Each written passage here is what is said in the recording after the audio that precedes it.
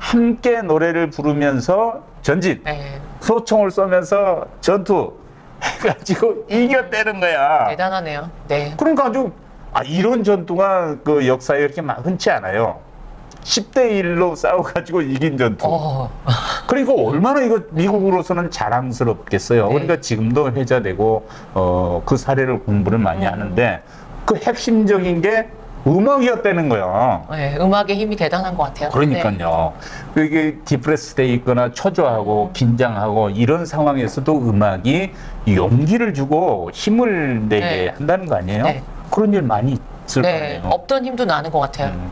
우리 일상에도 있잖아요. 네. 음. 학교 다닐 때요. 네. 청소 시간이 되면 막 음악을 틀어요. 음. 근데 막 씩씩한 행진곡 같은 걸 막 트는 거예요. 야, 이거 노동요네. 네, 뭐 이렇게 대-